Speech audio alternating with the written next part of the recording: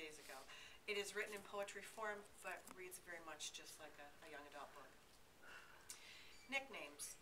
Most people just call me Sophie, which is the name on my birth certificate, or Soph, or sometimes Sofa.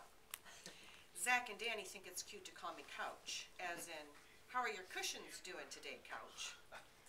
My parents usually call me Sophie Dophy or So-So, and Rachel and Grace call me Fifi, or sometimes just Fee. But Dylan calls me Sapphire. He says it's because of my eyes. I love the way his voice sounds when he says it. Sapphire. I like whispering it to myself. His name for me, Sapphire. It's like the secret password to my heart. How it happened. After Zach's party, Rachel's big sister came to drive a bunch of us home with her friend and her friend's younger brother. I was the last one to get in the car, and it turned out all the other laps were taken. So I had to sit on Rachel's sister's friend's brother's lap. It was Dylan's lap. But even though he goes to my school, I'd never seen him before. And he had such smoldery dark eyes that I felt like I'd been zapped smack into the middle of some R-rated movie. And everyone else in the car was just going to fade away, and this guy and I were going to start making out right then and there without ever having said one word to each other. But what really happened was he blushed and said, Hi, I'm Dylan. And I blushed back and said, I'm Sophie. After that, we didn't say anything else, but our bodies seemed to be carrying on a conversation of their own, leaning together into every curve of the road, sharing skin secrets. And just before we got to my house, I thought I felt him give my waist an almost squeeze. Then the car rolled to a stop and I climbed out with my whole body buzzing. When our eyes connected, this miracle smile lit up his face, and I practically had a religious experience. then I went upstairs to bed and tried to fall asleep, but I felt permanently wide awake, and I kept on seeing that smile of his and feeling that almost squeeze. In the girls' bathroom. Is he a good kisser? Rachel asks. Unbelievable, I say. And it's true. Dylan's kisses seem like something much better than kissing. It's like I can feel them with my whole body. That never used to happen when Luke kissed me, and he's the only other boy I ever made out with. Has he tried to get to second base, Grace wants to know?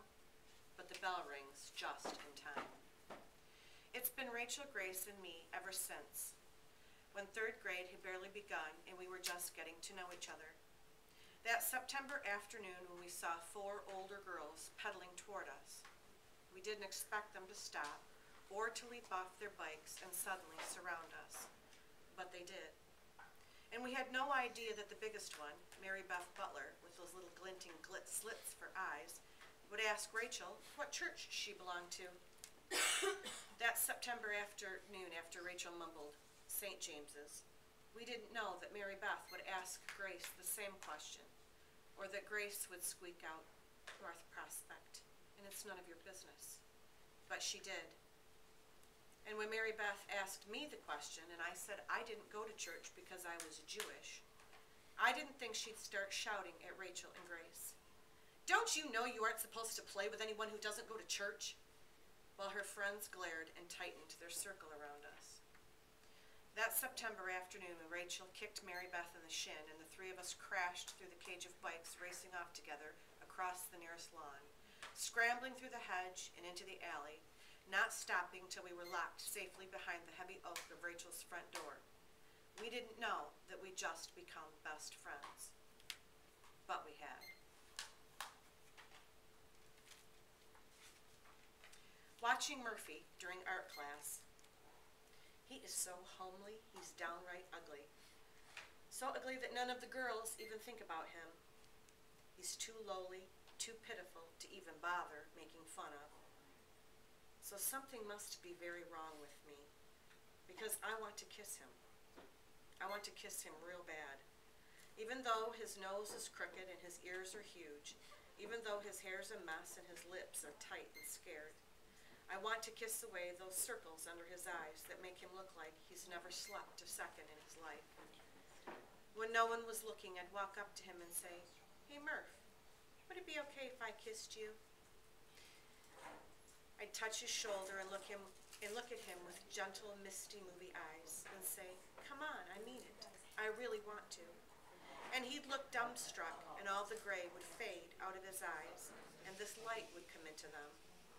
And he'd wrap his skinniness around me, and his arms would be shaking, and suddenly I'd feel all this love, all this need pouring into me, right through his lips into me, and it would feel great. And I'd close my eyes to feel it better. Whoa. I can't believe I'm having this fantasy about Murphy when I'm so totally in love with Dylan. Every day when I get home from school, I find televisions on in the living room, family room, the kitchen, and each of the bedrooms. There's even a little teeny one on in the bathroom. My mother says it's so she won't miss anything when she's going around sweeping and dusting and putting away laundry and emptying out waste baskets and cooking, which is what she does all day long, except for when she's lying in bed watching television. That's where she is every afternoon when I get home from school. She glances up and says hello, then goes back to watching. I walk from room to room, switching off all the other sets, wishing she would show half as much interest in my life as she does in Luke and Laura's. Her soaps. My mother says they keep her company, but it's just the opposite for me listening to that music that swells up in the background whenever someone announces they're pregnant or dies of a drug overdose, or maybe finds out their husband is having an affair with their best friend's stepsister's daughter-in-law. Makes me feel lonelier than when I was little.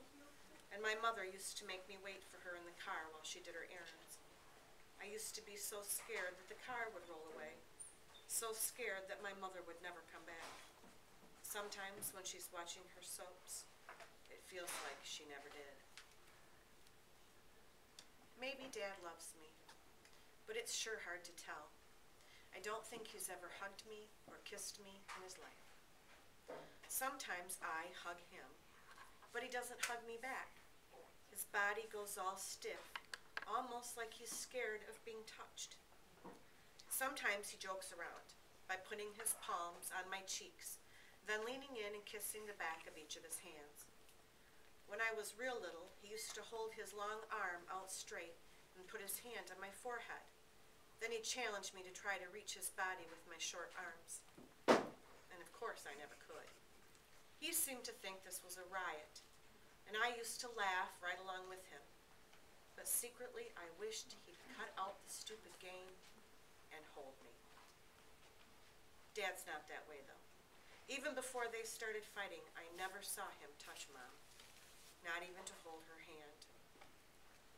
Maybe it's hereditary or something. I sure hope not. I sure hope I'm not going to be like that. But judging from how hard it is for me to keep my hands off Dylan, I seriously doubt it. Mom and Dad used to be in love. Way back in the beginning, anyhow. I know because I can see it in their eyes when I watch the old home videos of when I was a baby. But now they have these hideous battles all the time.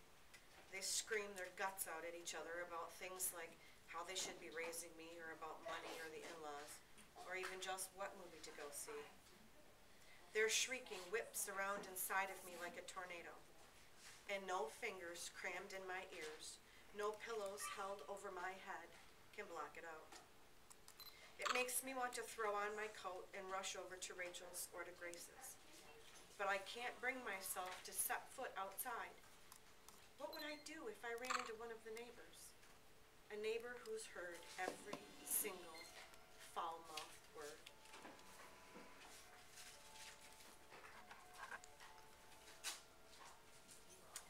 Walking home from school with Rachel and Grace. Listening to Grace moan about how horny she is and about how if she doesn't find a boyfriend soon, she's going to die of Lakanookie disease. And Rachel complained about how Danny can't take her out on Saturday night because his parents have grounded him again.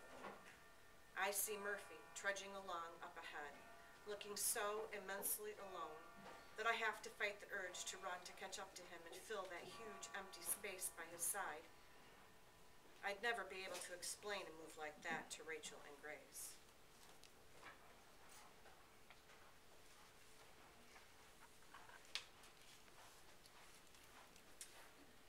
On the way to meeting Dylan's mother. I'm thinking about the time my mother and I were in the car, waiting for an old lady who was taking forever to pull out of a parking space in front of Flair Cleaners. I'm thinking about how when she finally drove off, this crow-faced man zipped right into the space from behind us, and about how my mother rolled down her window and said, Excuse me, sir, but we've been waiting for that spot for five minutes. I'm remembering what the man said as he shoved open his door. Goddamn kikes. I'm remembering the look on my mother's face, the way her hand flew up to her cheek as though she'd been slapped. And I'm remembering the first thought that came into my head. Do we look that Jewish? It's just an expression. Dylan's mother is in the middle of having a garage sale when we walk up.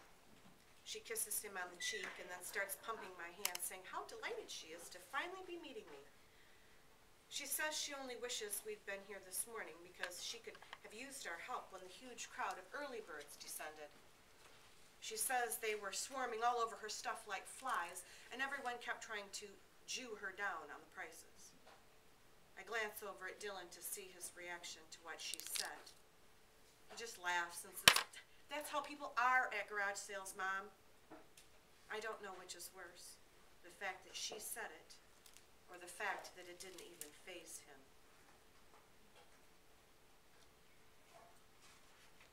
The meaning of Murphy. I don't know how it got started, but it happens all the time. When someone at school acts like a dork, the other kids say, What a Murphy. Someone will do something dumb, like today in science class when Danny knocked a beaker onto the floor and it crashed into a zillion pieces. Zach shouted, Geez, Danny, don't be such a Murphy. And the whole class burst out laughing. Okay, I laughed too, but only so no one would think I was strange. I wonder how Murphy would feel if he knew his name had become synonymous with jerk. I guess I know how he'd feel.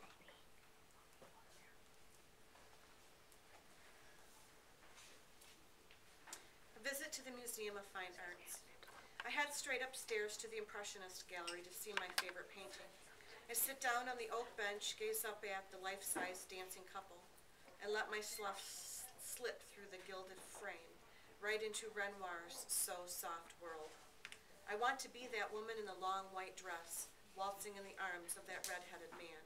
I want to feel the heat of his hand holding mine, and press my cheek to the fur of his beard. But suddenly, Sophie, someone is saying my name. Sophie?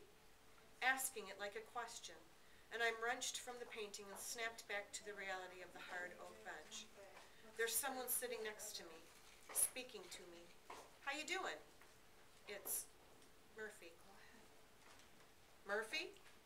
And he looks so happy to see me, his tail's practically wagging. Oh, hi, I say, trying to sound friendly, but wishing I could get the heck out of here. It's an awesome painting, isn't it? He says. Yeah, I say. My all-time favorite, he says. Mine too, I admit. What have I done? Oh no, tell me that I didn't do what I think I just did. I didn't ask Murphy to have lunch with me just now, did I? Man, oh man, Manischewitz, lunch with Murphy in a public place. This is going to be totally Twilight Zone. When Murphy introduces me to his parents, his father takes both of my hands in his and beams at me with the warmest eyes. They're Murphy's eyes. He says, Thank goodness you're here to help us. The first thing Murphy's mother says after hello, and it's so good to meet you, is, My son tells me you're Jewish. That's right, I say, while the blood in my entire body rushes to my face. But then she says, I am too. With the nicest, most welcoming smile. It's Murphy's smile. I used to have the worst Christmas tree envy, she says. That's probably one of the reasons I married my husband, so I'd finally get to have a tree of my own.